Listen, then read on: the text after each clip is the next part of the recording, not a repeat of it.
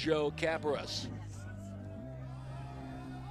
One ball, no strikes to Camper, a two-time first-team all-conference selection. And drives it to left field and deep and going back is Fredrickson. It is gone. A home run by Matthew Camper. Got a pitch inside and able to handle it over the left field fence.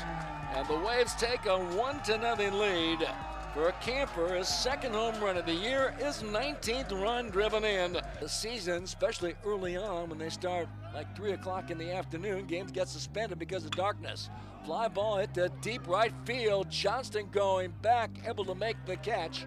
Tagging is Modlin. He will come in and score, and the chance to be the tying run. Two down, top of the ninth, two to one Pepperdine.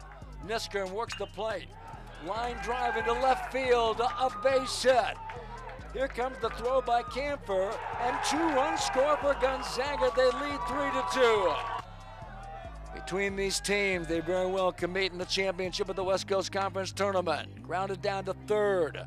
Harris gloves the throw over to first, and that's it.